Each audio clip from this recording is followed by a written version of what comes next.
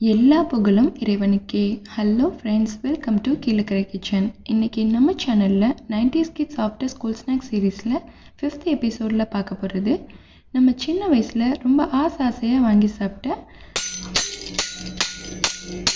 பாம்பே மிட்டாய் எப்படி செய்யலான்னு பார்க்கலாம். இது செய்கிறதுக்கு நான் ஒரு பேன் எடுத்திருக்கேன். இதில் ஒரு கப் அளவு சுகர் அதாவது டூ ஃபிஃப்டி எம்எல் சுகர் எடுத்திருக்கேன்.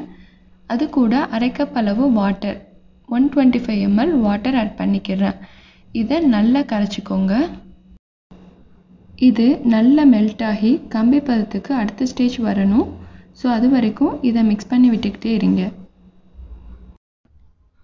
நாம் இதை கரெக்டான பதத்தில் எடுத்து செய்யணும். அப்போ தான் வந்து கேண்டி சூப்பராக வரும். இல்லைன்னா வந்து ஹார்டாயிரும்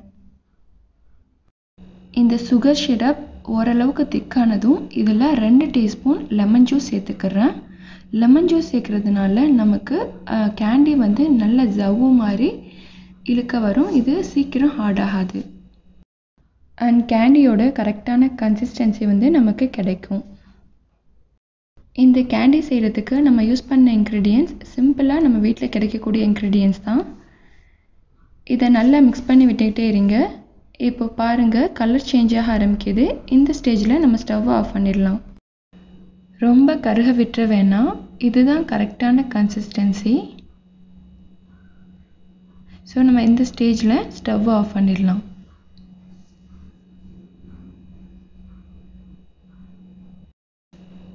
இப்போது இந்த சுகர் சிரப்பை நான் ஆயில் அப்ளை பண்ண கவுண்டர் டாப்க்கு மேலே ஆட் பண்ணிக்கிறேன். இந்த மாதிரி ஆயில் சேர்க்குறதுனால இது ஒட்டாமல் ஈஸியாக எடுக்க வரும். இது ரொம்ப சூடாக இருக்கும். அதனால நம்ம ஃபஸ்ட்டு கையை யூஸ் பண்ண முடியாது.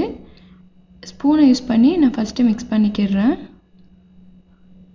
பாருங்கள் ஸ்லைம் மாதிரி இருக்குது சூடு ஆற ஆற இதை நம்ம மிக்ஸ் பண்ணி விட்டுக்கிட்டே இருக்கும்போது கேண்டியோட கன்சிஸ்டன்சி கிடைக்கும். இப்போ இதில் நான் ரெண்டு ட்ராப்ஸ் ஃபுட் கலர் சேர்த்துக்கிறேன். ஃபுட் கலர் ஆப்ஷனல் தான். நீங்கள் விருப்பப்பட்டால் சேர்த்துக்கோங்க. இல்லைன்னா அப்படியே சாப்பிடலாம். நான் சின்ன வயசில் பிங்க் கலரில் தான் வாங்கி சாப்பிட்டுருக்கேன். ஸோ அதனால தான் ஃபுட் கலர் சேர்த்துருக்கேன். கலர்ஸ் எல்லாமே கேண்டி கூட படுற மாதிரி நல்லா மிக்ஸ் பண்ணி விட்டுக்கோங்க. இது லைட்டாக சூடு ஆறுனதுக்கப்புறம் நம்ம கைக்கு மாற்றிக்கிடலாம்